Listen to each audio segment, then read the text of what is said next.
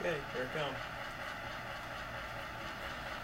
Here we have an E7 sitting in Cocoa Yard, followed by the Azalea in St. Augustine.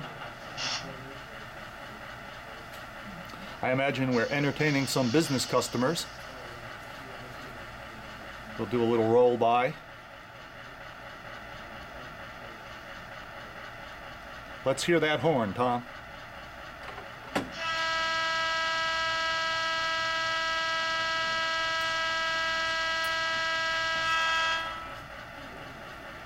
How sweet is that music, huh?